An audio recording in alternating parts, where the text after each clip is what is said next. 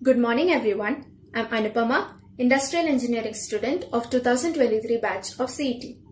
Today we're going to do a problem on the topic impact of a jet of water on an unsymmetrical moving curved vane when the jet strikes tangentially at one end of the tip. Let us first look into the question. A jet of water having a velocity of 12 meter per second strikes a curved vane which is moving with a velocity of 5 meter per second. The vane is symmetrical and is so shaped that the jet is deflected through 120 degree. Find the angle of the jet at inlet of the vane so that there is no shock. What is the absolute velocity of the jet at outlet in magnitude and direction and the work done per unit weight of water? Assume the vane to be smooth. Now always before heading to the answer, let us draw the figure properly. So here we have the curved vane which is moving in this direction with the velocity u equal to 5 meter per second. Now first let's draw the velocity triangles at both the inlet and the outlet. At the inlet we have v1 which is the velocity of the jet. We have u1 which is the velocity of the curved vane. We have vr1 which is the relative velocity of vane and jet at the inlet.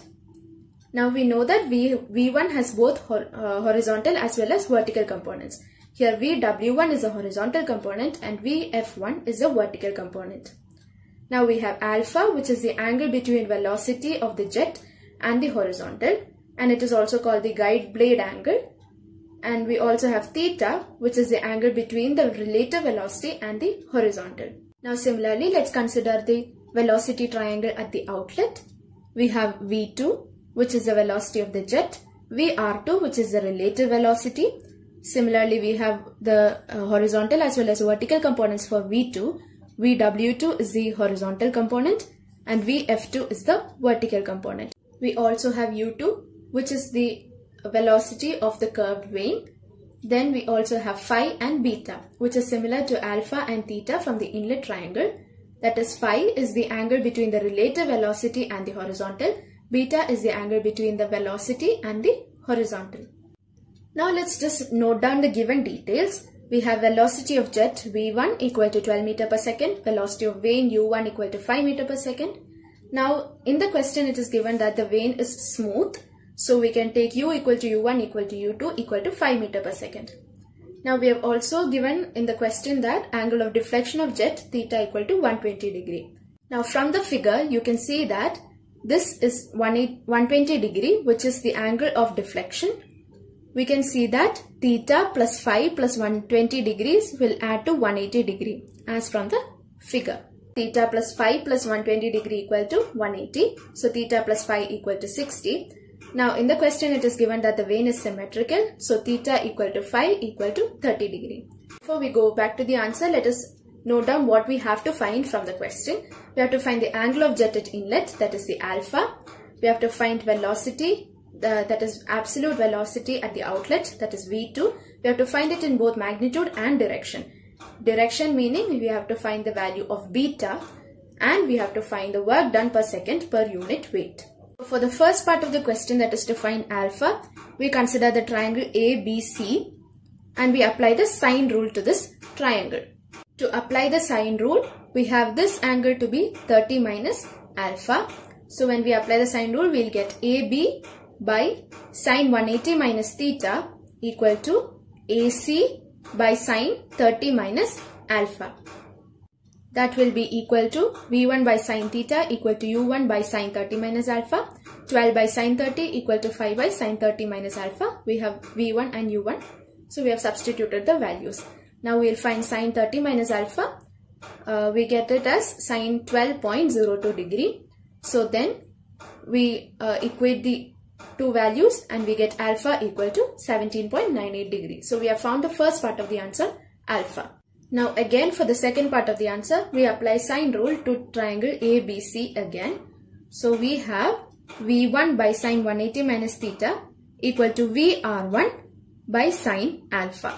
That is 12 by sine theta equal to VR1 by sine 17.98 because we have found the answer of alpha. And from that we'll get VR1 we get it as 7.41 meter per second. Now that we have found the value of VR1, let us look into the triangle ABD. That is this complete triangle. So we have VW1 equal to V1 cos alpha. So that is 12 into cos 17.98. So we have VW1 equal to 11.41 meter per second. So now to find the absolute velocity of jet at the outlet that is to find V2 we, we consider the figure again. So the angle made by V2 at the outlet with the direction of motion of vane. So this is the direction of motion of vane and the angle made by V2 with the direction of motion of the vane will be 180 minus beta from the figure. Now since it's given in the question that vane is smooth, we have VR2 equal to VR1 equal to 7.41 meter per second. Now we consider the outlet and we can check the figure again. We consider the triangle EFH that is the complete triangle. We have VR2 cos phi equal to U2 plus VW2. This is VR2 cos phi. VR2 cos phi will be this line that is U2 plus VW2. We substitute the values for VR2, phi, U2 and we find the value of VW2. So we get VW2 equal to 1.417 meter per second. Now again from the figure, we have VF2 equal to VR2 sine phi. And we find the value of VF2. We get the answer as 3.705 meter per second. Now again we consider the figure and we find the value of tan beta.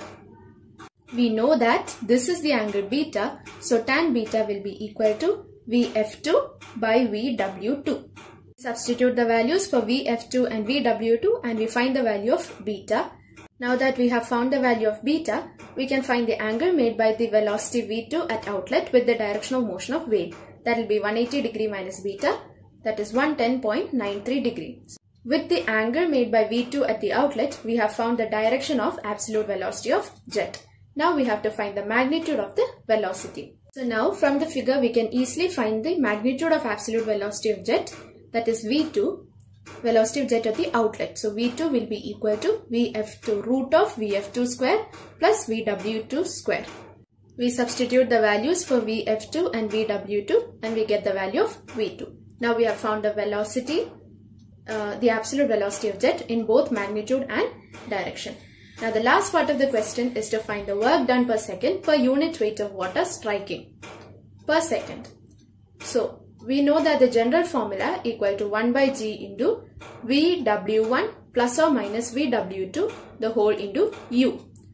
Here since beta is acute angle we can find the work done with the easiest formula 1 by g into Vw1 plus Vw2 the whole into u.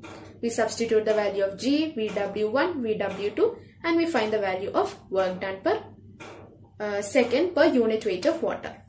I hope you have understood how to do this problem and similar questions like this.